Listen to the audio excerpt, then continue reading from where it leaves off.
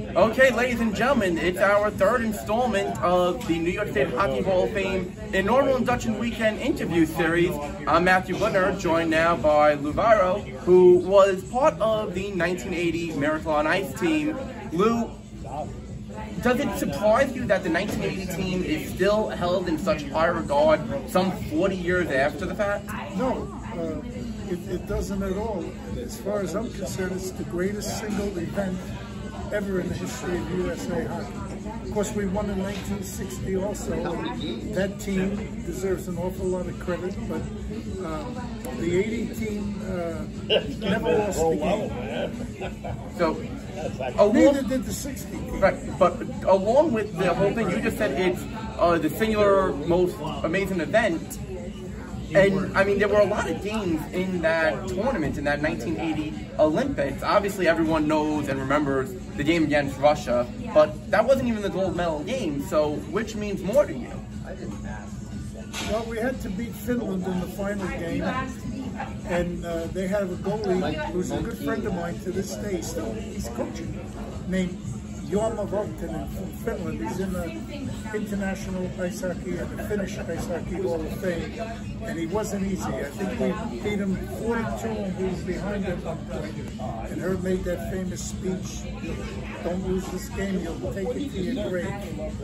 And I heard him say that. And uh, it motivated the guys and Mark Johnson and the boys got busy and pulled it out. Speaking of Herb Brooks, in the movie Miracle, which obviously it's a movie, so there are some liberties taken.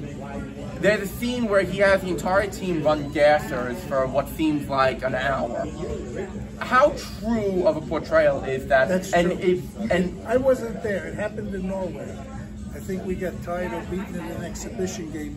Mark could tell you, he was on the team, and he got very ticked off. He wanted to just, and, and you know, he was a very smart motivator and a smart coach. but that's more of a punishment than a motivation. Yeah, and what does it do? It brings the team together.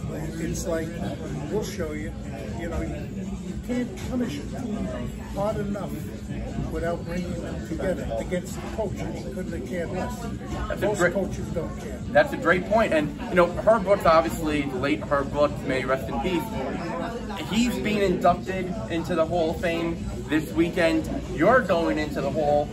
What is your thoughts on being inducted alongside Herb, Mark, Jack O'Callahan, and the rest of the team and be part of an inaugural class of the Hall of Fame? Well, it's a distinct honor um, to be recognized. This is my home state, like you. I'm from Brooklyn, New York. Whoever thought growing up in Brooklyn, New York, I'd be able to witness the things I've witnessed and to do the things that the privileges I've had to do.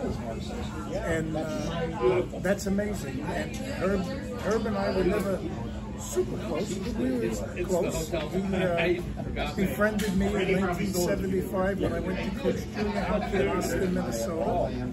And he, um, we became friends. But Herb, you don't become close friends. It's very difficult. He, he, was not always the easiest guy to deal with.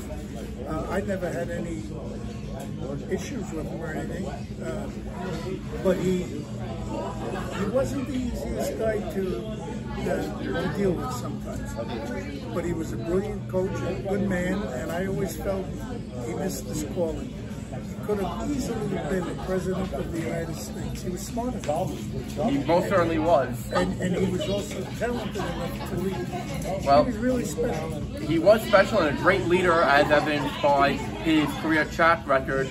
We'll be joined in just a little while by yet another member of the New York State Hockey Hall of Fame inaugural induction class. Lou, we thank you so much for your time You're and very welcome. congratulations. You're very welcome.